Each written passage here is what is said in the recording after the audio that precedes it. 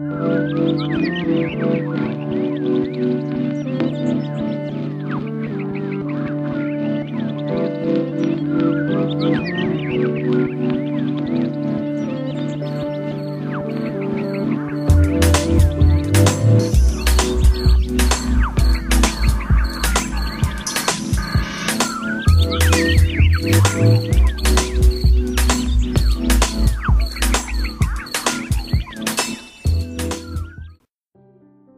Bonjour à toutes et à tous, bienvenue sous la canopée, ici Monsieur Green.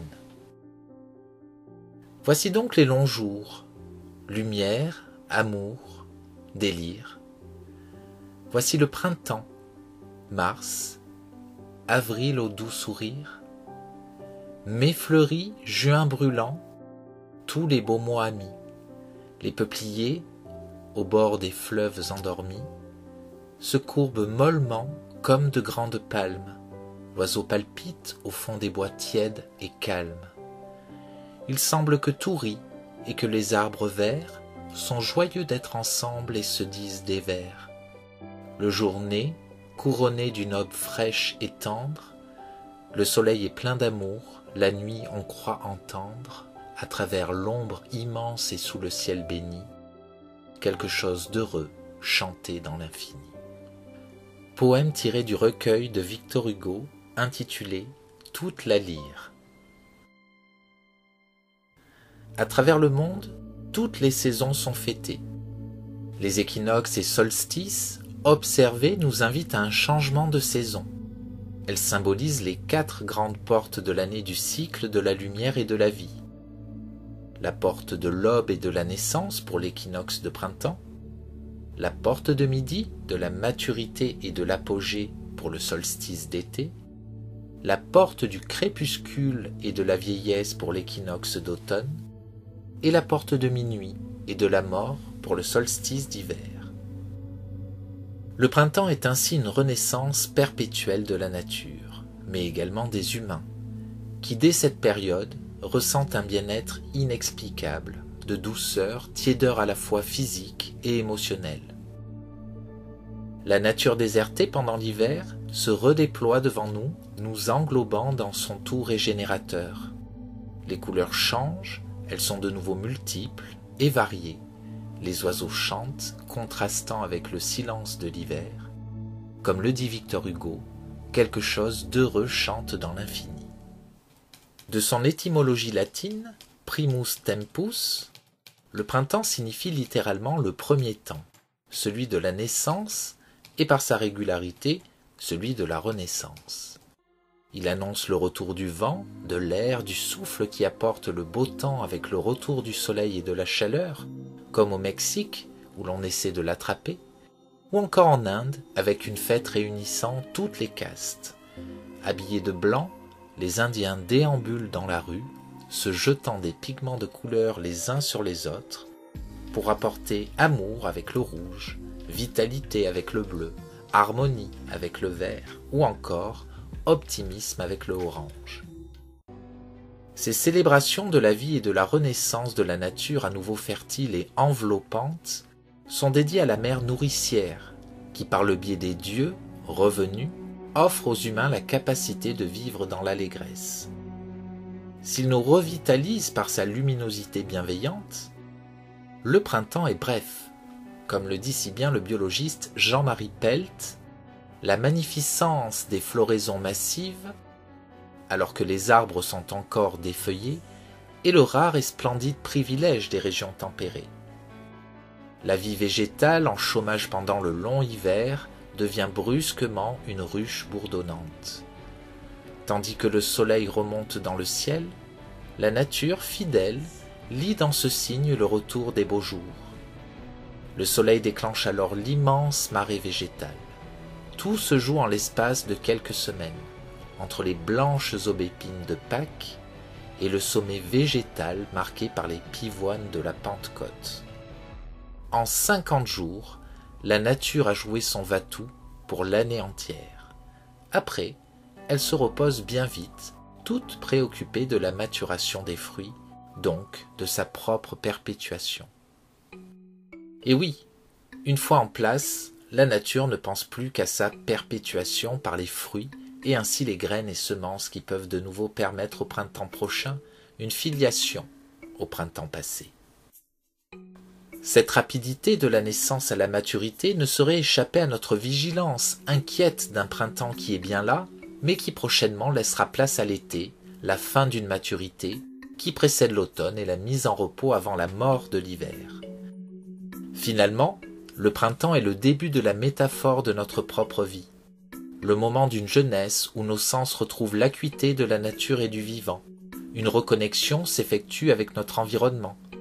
Nous marchons, et soudain, un léger parfum de lilas caresse nos narines, nous rappelant que nous sommes vivants, accompagnés par les autres vivants comme les fleurs, arbres, animaux en tout genre, qui comme nous redécouvrent l'enfance de la découverte.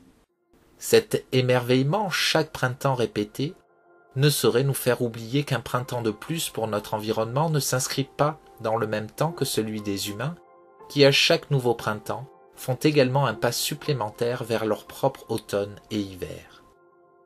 Comme le disait Vladimir Jankelevitch, philosophe et musicologue français à ses étudiants, ne manquez pas votre unique matinée de printemps, instaurant ainsi un certain paroxysme et doute sur une vie étudiante où l'on s'assoit pour écouter un professeur malgré les matins printaniers, ou bien une vie de contemplation par les sens, ancrée dans une autre réalité temporelle. Pour terminer cette chronique, je vous invite à user de votre oui pour vous immerger dans une matinée printanière, source de régénération, de lumière et de vie.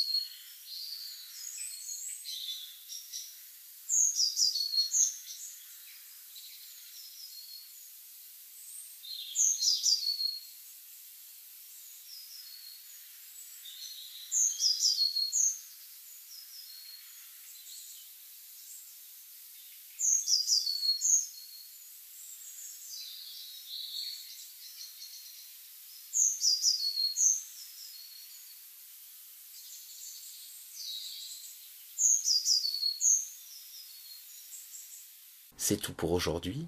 Excellente semaine à toutes et à tous. C'était Monsieur Green. Fin de la retransmission. Comment c'était?